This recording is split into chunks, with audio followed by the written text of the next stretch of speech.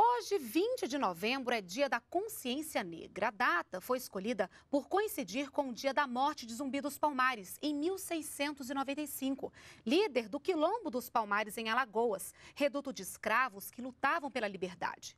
Como parte das comemorações, o Ministério da Cultura lançou editais de apoio e patrocínio para projetos voltados à comunidade negra. A repórter Ana Gabriela Salles está com a ministra da Cultura e tem os detalhes sobre essa iniciativa. Ana Gabriela, boa noite.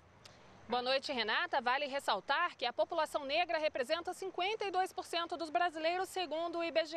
E um dos objetivos desses editais é justamente estimular o trabalho de produtores e autores negros no país. Mas quem nos dá mais detalhes é a ministra da Cultura, Marta Suplicy, que está aqui ao meu lado. Boa noite, ministra. Bom, qual a importância eh, das políticas afirmativas na cultura? Como funcionam esses editais?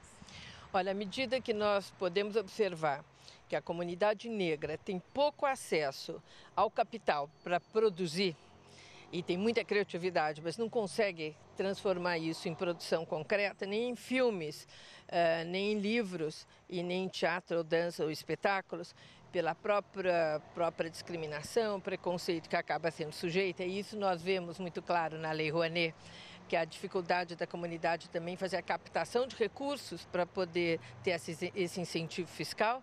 Uh, cabe ao Ministério da Cultura ter ações afirmativas. Que são ações afirmativas? São criar editais que possibilitem as pessoas de origem afrodescendente terem acesso a recursos em diferentes setores. E que valor vai ser investido e que áreas devem ser contempladas? Olha, vamos chegar perto dos 10 milhões de reais e as áreas vão ser. Uh, Primeiro, literatura pela Fundação Nacional do Livro. O que, que nós vamos fazer?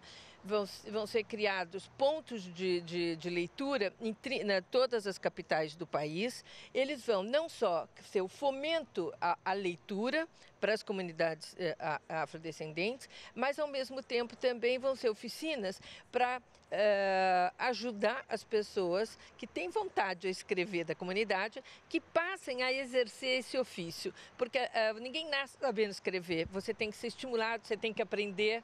E a partir disso, os mais talentosos nós vamos publicar os livros. E eles vão entrar numa caravana de escritores que a, a Fundação Nacional do Livro já faz há bastante tempo, só que geralmente é com, atores, com a, autores consagrados. Mas dessa vez não vão ser os jovens que tiverem seus livros editados, eles vão participar dessas caravanas que são palestras em escolas, feiras de livro, e aí eles vão poder ter esse contato, porque dessa sinergia também aumenta a criação.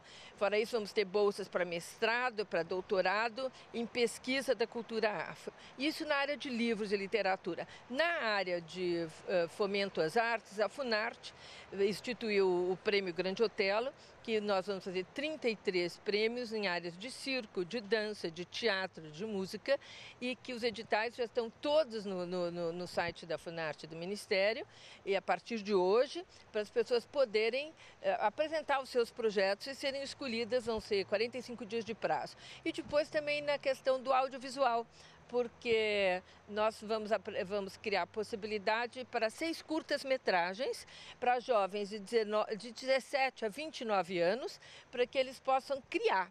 E pode até ser animação, que é com desenho animado, pode ser de qualquer tipo, e temática livre, e que nós esperamos que daí surja um Spike Lee daqui a 10 anos, ou antes, né?